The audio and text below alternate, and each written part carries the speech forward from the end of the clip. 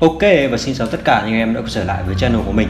Thì ở clip trước mình đã nói qua về một số những thông tin liên quan đến eFootball 22 Thì uh, rất nhiều anh em đã hiểu hơn phần nào về thẻ Legend và Iconic sẽ như thế nào ở bản mùa sau. Và trong khi đó cũng có rất rất nhiều anh em mình có đăng video mình nói rất rõ nhưng mà nhiều anh em lại không xem. Anh em lại cứ comment luôn. Và lại có một số cái câu hỏi kiểu như thế này có mất cao không anh? Cầu thủ mùa sau thành xi măng à anh? GP với coi còn không anh? Máy em yếu chơi được không anh? iPhone 13 chơi mượt không anh? Điện thoại bàn chơi được không anh? Đó thì thực sự là mình không biết là là phải trả lời như nào nữa bởi vì là mọi người mà xem hết video là mọi người sẽ hiểu chứ nhiều anh em không xem ấy, anh em vào hỏi kiểu như vậy, thì mình cũng rất là không muốn trả lời đó thì hy vọng là clip này anh em sẽ chịu khó xem kỹ hơn và xem hết video này. Những cái gì mình nói sẽ liên quan đến bản 22 mùa sau. Thì mình sẽ nói qua một chút. Đó là rất nhiều anh em lo lắng. Tại vì sao anh em lại lo lắng? Bây giờ rất nhiều anh em lo lắng kiểu như là, ơi anh ơi, chế độ, các chế độ mùa sau như thế nào? Xong rồi thẻ ờ, Legend 4 sao, với lại Legend 5 sao, được chơi chế độ nào? Legend 4 sao bị hạn chế đúng không anh?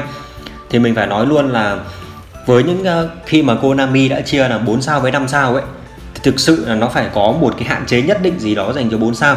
Còn hạn chế gì thì Konami chưa nói nhá. Đấy chỉ là những cái um, tin đồn về như kiểu là 4 sao bị hạn chế chơi chế độ này chế độ kia. Thì mình thấy cũng đúng. Để cho anh em mà không được chơi chế độ này anh em phải nạp tiền hoặc là anh em phải quay ra năm sao anh em mới có thể chơi. Cái này hoàn toàn đúng nhưng mà thực sự là anh em lo lắng quá làm gì cả. Rất nhiều anh em trong uh, cái clip trước mình đăng lên rất nhiều anh em nhắn tin ở page và comment ở facebook kiểu comment ở youtube ấy kiểu lo lắng cực kỳ luôn. Bản sau thế này bản sau thế kia. Thì mình phải nói là đây là mình chơi game.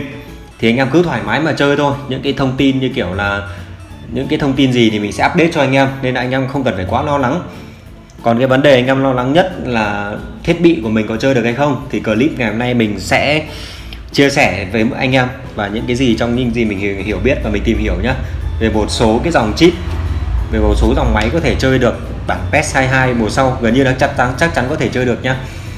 Đầu tiên mình phải nói qua một chút đó là về uh, việc eFootball cho phép cross play tất cả các nền tảng với nhau thì game play của PES trong tất cả các nền tảng gần như sẽ giống nhau nhưng sẽ khác nhau một chút đó là cái mặt đồ họa. Anh em phải biết là trong uh, khi mà doanh thu của bản mobile nhá nói riêng đem về hơn 1 tỷ USD gấp tầm 3 4 lần những doanh thu của console và và chắc chắn là Konami cũng không dại gì mà hạn chế gần hết những dòng máy đang chơi được bản này và mùa sau lại không có thể chơi được bởi vì là doanh thu mobile Konami kiếm được rất nhiều. Vậy thì tại sao Konami lại hạn chế đi đúng không? Người ta phải tìm cách khắc phục, tìm cách để cải thiện nhiều người có thể chơi hơn. Đó, anh em cứ yên tâm vào một điều như vậy. Thì những dòng máy nào mình, nhiều anh em hỏi mình ấy, mình trả lời là những dòng máy nào anh em bây giờ đang chơi mượt, thì mùa sau hoàn toàn có thể chơi bình thường, không cần phải lo. Cái dung lượng hay là cái gì, nếu mà anh em chơi đồ họa cao không được thì anh em bật thấp đi, vẫn là chơi được, đúng không? Anh không cần phải lo. Cái này Konami sẽ tinh chỉnh hết, sẽ điều chỉnh hết toàn bộ về mọi thứ nó ổn định cho anh em như bản này mà thật chí là bản này mình thấy cũng rất ổn áp rồi đâu có gì là là là quá khó khăn đâu. Konami sẽ giảm tải tối đa những cái gì mà thừa thãi ở trên PC và PS4 mobile không không tải được thì Konami sẽ điều chỉnh cho chúng ta nha. Em cứ yên tâm cái vấn đề là như vậy. À, đây mình sẽ thống kê một chút về ờ, những cái dòng những con chip có thể chiến tốt nhá. Còn ờ, đây chỉ là những con chip chắc chắn gần như khả năng là 8 90 phần trăm có thể chơi được còn những con chip nào mà Konami bổ sung thêm thì anh em có thể um, yên tâm hơn.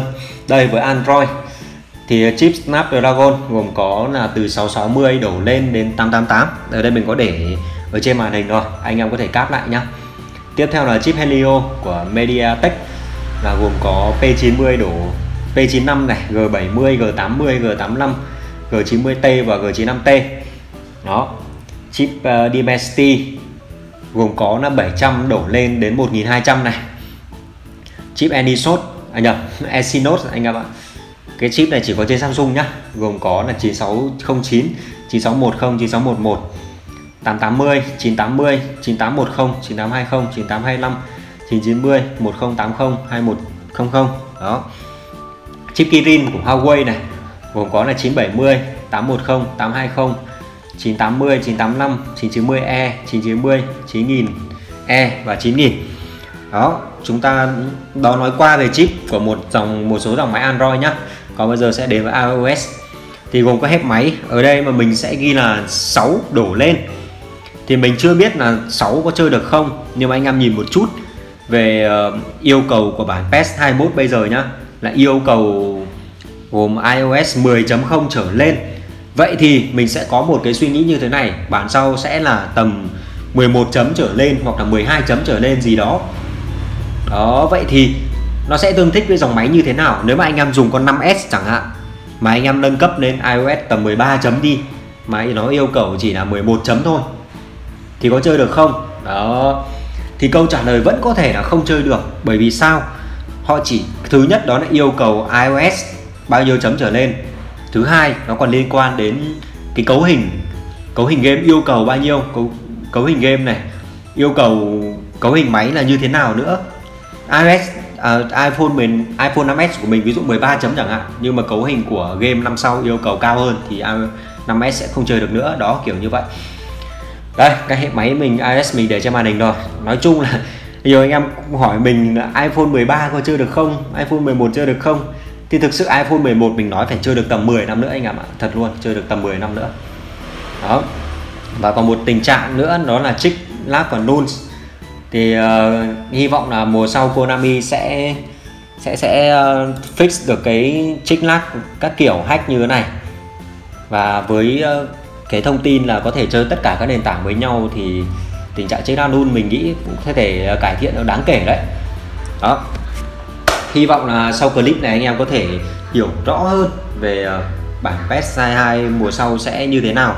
Và hy vọng anh em đừng có quá lo lắng nhiều anh em lo lắng làm gì thật sự luôn. Chơi game mà cứ lo lắng, cay cáy lo như kiểu là đợi mẹ đi chợ về đấy, anh em không cần phải lo làm gì cả, cứ bình tĩnh mà chơi chơi trải nghiệm hết, chơi mùa này trải nghiệm hết tất cả những cái gì có của mùa này. Nhiều anh em hỏi là cái hòm thư này có nhận được không? Anh em hỏi mình làm gì? Anh em thích thì anh em nhận chơi game mà, cứ thích thì nhận, không thích thì thôi. Đó. Anh em không phải chơi theo ý kiến của người khác làm gì cả, cứ chơi theo cách riêng của mình. Mình chơi game mùa này, mình trải nghiệm mùa này, trải nghiệm hết cỡ thì thôi anh em ạ. Bởi vì là mùa sau mình sẽ tiếc một chút gì đó ở mùa này cho mà xem. Như kiểu bản 2020 mình rất tiếc một số điều ở bản 2018 kiểu như vậy. Anh em cứ chơi đi, mùa sau mình lại thấy tiếc một chút ở mùa này, cứ chơi và trải nghiệm thôi. Đó. Thì hy vọng sau clip này anh em sẽ hiểu hơn một chút về bản 22 mùa sau. Rất hy vọng anh em không lo lắng nhiều quá. Đó. Xin chào và hẹn gặp lại anh em trong những clip tiếp theo. Bye bye.